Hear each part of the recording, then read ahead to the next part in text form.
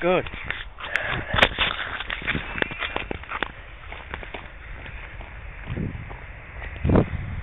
Here we are again on Saturday, the 21st of February 2015 at Youngman's Road, Dulverton, as the goods train from uh, Railton heading in towards Devonport now.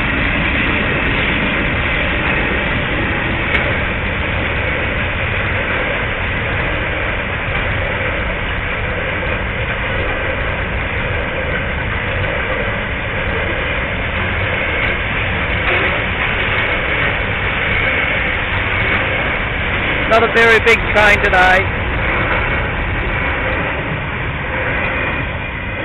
Well, that's all today. Definitely. Goodbye.